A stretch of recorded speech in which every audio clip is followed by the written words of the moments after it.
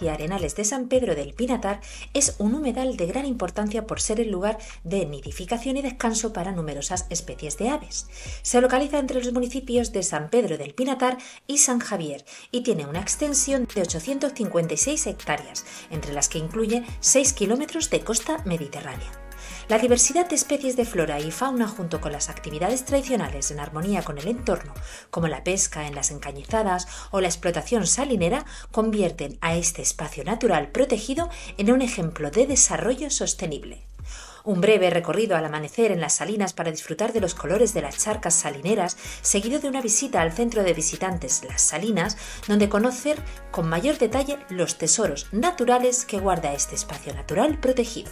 Un baño en las playas naturales del Parque Regional o en los terapéuticos baños de lodo es una experiencia saludable en un entorno tranquilo y privilegiado. Bajo el